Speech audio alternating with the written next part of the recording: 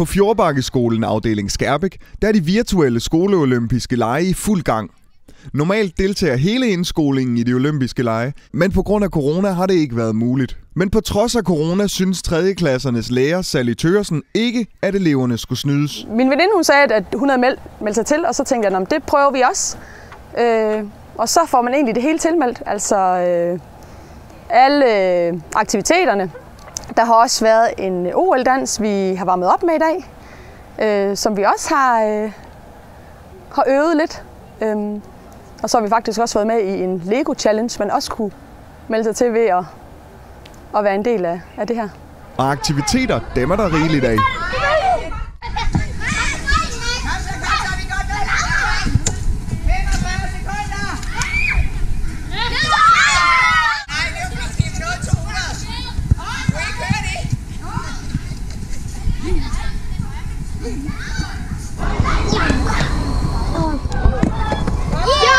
Den vi lige så øh, her, der havde, havde vi gang i en alternativ bowling, hvor det var, at øh, de på 15 minutter skulle øh, vælte så mange kejler som muligt. Øh, de skulle enten skyde med frisbee, eller også så skulle de øh, lave trickskud med en håndbold, eller så skulle de stå på hovedet og trille en øh, basketbold. Tidligere der har vi øh, løbet blindestafet, og vi har shippet, og så har vi haft en Michael Jordan konkurrence, hvor det var, at de skulle øh, skyde i 4 minutter øh, med en basketbold, en håndbold, en bordtennisbold og en tennisbold, som hele tiden gik på tur. Og så øh, galt det om for børnene at få så mange point som muligt. Nogle bliver udfordret, fordi det er nogle aktiviteter, de ikke lige er mestre, og de ikke er de bedste til. Det er jo ikke fodbold og hockey, som man normalt plejer at dyste i OL, men, øh, men her er alle sådan set på lige fod, fordi at det er nogle ting, vi ikke har prøvet før. Øhm, vi har været alle øvelserne igennem en gang, inden det var, at vi gik i gang, hvor det virkelig talte.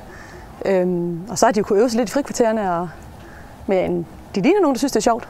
Det er sjovt at lave alle de her ting, vi skal lave. Jeg kan bedst lide øh, det, den med håndbolden, fordi at, øh, jeg har det bare nemmere ved sådan, at lave sådan en trækskud, i stedet for sådan at stå på hovedet og sådan noget. Jeg synes, det var den med frisbeen, fordi at, ja, jeg synes bare, det er sjovt sådan.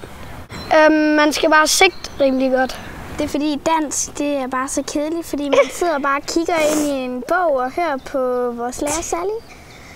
Og det er meget fedt at være herude. Og på skolen er der slet ingen tvivl om, hvad målet er. Vi skal deltage i de her olympiske lege, og du kunne se før, der gav vi den jo alt for at se, om vi ikke godt kunne blive så gode som muligt. Og så må vi jo se, om det er nok til at, at vinde, eller hvad det er. Øhm, men bare det, vi får bevæget os lidt og har det sjovt, det, det er jo også vigtigt, men vi går ind for at vinde. De olympiske lege har været i gang i et stykke tid, og det fortsætter også lidt endnu. Vi mangler øh, skiskydning, øh, hvor det er, at de skal løbe frem og tilbage, lidt ligesom de gør, når man ser skiskydning, og så skal de ind, og så skal de skyde med en øh, frisbee, to frisbee, og øh, med bordtinsbat og bordtinsbold i ringen, som hænger ind i målet.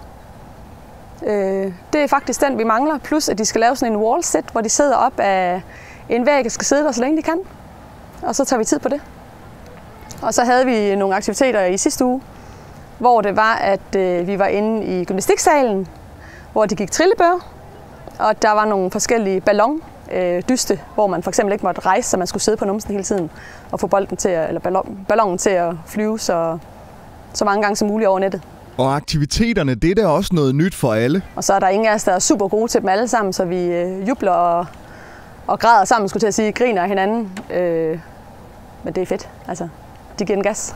Det var 3. A mod 3. B, og hvem der løb af med sejren i bowlingdysten, det er lidt usikkert. Jeg tror, det var i klassen. Ja, det var, det var lidt held. Jeg tror, de snød lidt Mm. af.